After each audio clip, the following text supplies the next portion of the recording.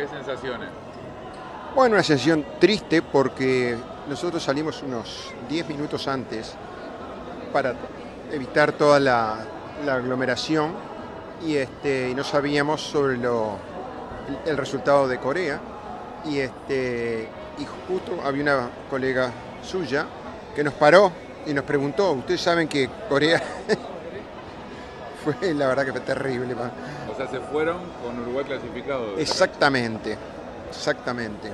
Increíble. Triste, ¿eh? Qué historia. Bueno, se acabó una generación. Cavani, Lucho Suárez. Lucho, el Muslera, Godín, Cáceres y este, bueno. Tenemos buenos jugadores, muy buenos jugadores, jóvenes. Hay un recambio eh, de- en la selección de Uruguay. Yo pienso que el error acá fue técnico.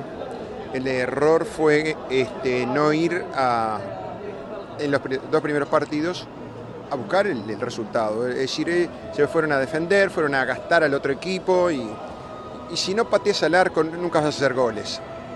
Eso es una cosa, un, un axioma muy típica del fútbol.